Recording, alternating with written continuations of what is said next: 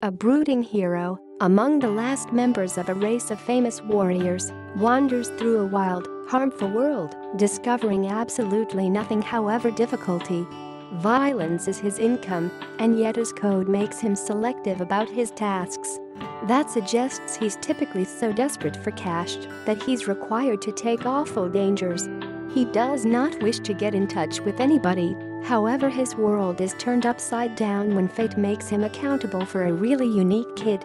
That description fits both the Disney Plus Star Wars series The Mandalorian and The Witcher, Netflix's adjustment of Andrzej Sapkowski's Dream Books, which likewise influenced CD Projekt Red's computer game series of the very same name. While The Mandalorian is an exceptionally amusing expedition of the Star Wars universe, and its roots in westerns and samurai movies, The Witcher is a dull ugly mess with no stakes that embodies the worst impulses of post-Game of Thrones TV. Henry Cavill, the DCEU's Superman, plays the title character, Geralt of Rivia, with a square-jawed terseness so inscrutable. He may also be using the Mandalorian's signature helmet. While he sometimes reveals a little bit of appeal, while making a barbed joke or responding to an especially remarkable discovery with a curt curse.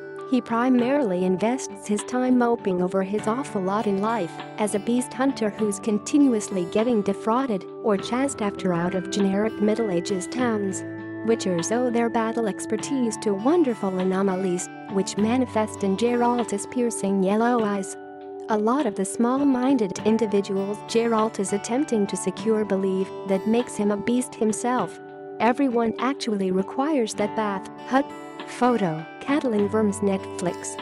That cliché is strongly hammered house by showrunner Lauren Schmidt-Hissrich who formerly composed numerous scripts for Daredevil and the Umbrella Academy in The Witcher's very first episode, The End's Beginning, computing sorcerer Stregobor, Lars Mikkelsen of Sherlock and House of Cards, asks Geralt to eliminate a beast for him. When the Witcher asks what kind, Stregobor reacts, the worst kind. The human kind.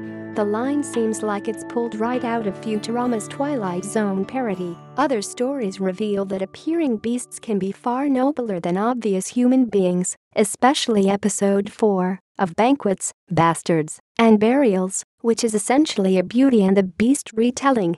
The worst of humanity is represented by the Nilfgaardian Empire, whose forces completely abuse and massacre everybody in their wake in fights that look like Game of Thrones gory grimdark excesses.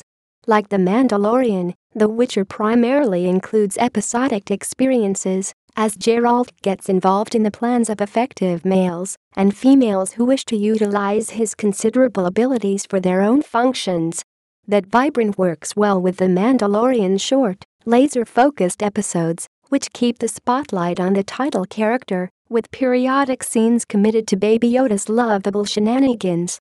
The Witcher's episodes are an hour long at minimum, and they likewise follow the stories of two other lead characters, the enthusiastic sorceress Yennefer, Anya Chalotra, and Ciri, Freya Allan, an intense young princess on the run from the Nilfgaardians looking for Geralt's security.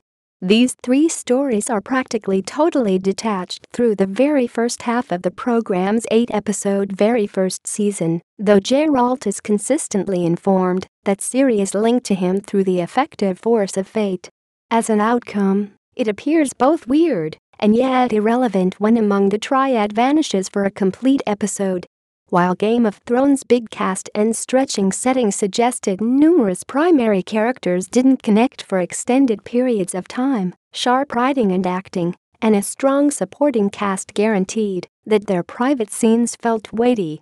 The Witcher's led characters still feel very finely sketched, with too much time dedicated to cumbersome exposition or constructing up even thinner small characters who are suggested to be essential later on. A love for the ages, Photo, Katalin Vermes Netflix. Schmidt set the program prior to the occasions of Sapkowski's very first book, Blood of Elves, getting rid of the majority of the remarkable stress for anybody knowledgeable about the source product or video games. While The Mandalorian happens prior to the occasions of the present movie trilogy, None of its characters or disputes to date play a substantial function in the movies, so there are no warranties about who endures and no clearness about which actions in fact matter. Even for those who are brand new to The Witcher, the program structure, which Netflix has actually required critics not expose or talk about, makes it clear that much of the results of the plots are blessed. While the characters of the characters and concerns checked out in the program are real to the books and video games. The world building exists clunkily, with the authors rotating in between under and over explaining things. Both the books and video game tend to present characters and make their connections and significance clear through a couple of lines of fond recollecting with Geralt. Netflix's The Witcher moves most efficiently when it simulates this design, however the prequel setup reveals the author's objection to trust audiences enough to maintain Similarly, very little is defined in The Mandalorian, with the presumption that the audience currently understands about the fall of the Galactic Empire or the risks of the Hutts. The Witcher's authors appear to anticipate their audience to be genre savvy when they present halfling and dwarf characters without any description. However, then they have a character actually lecture about the nature of magic and the risks of utilizing it the channeling of chaos through discipline and research study is likewise directly from the source product. However, in the books, readers primarily piece its nature together through puzzling referrals or discussions about previous characters' fates. The tradition about it in the video game can be engaged with or overlooked at the gamer's leisure.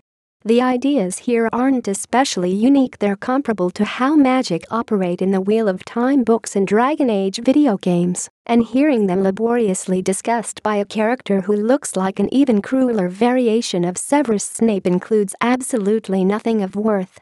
That's a great deal of Hercules shapes. Photo, Katalin Vermes Netflix.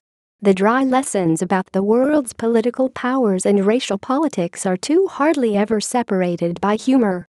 The appeal of the Mandalorian's baby Yoda is that he can consume a frog to cut the stress of an upcoming life or death fight, and he works as a method for a terse and typically violent character to wordlessly revealed generosity.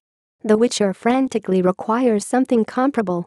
Geralt's fate connection to Ciri does not fit the expense, however Jaskier, Joey Batey, a bard who follows Geralt around, discussing his exploits, and utilizing a shockingly appealing tune to motivate individuals to pay him, does at minimum of sometimes serve a comparable function.